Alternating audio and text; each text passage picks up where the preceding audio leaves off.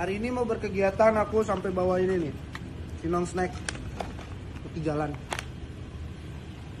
Saking jatuh cintanya sama Cinong snack, aku ngemil setiap hari, aku ngeborong 20 snack.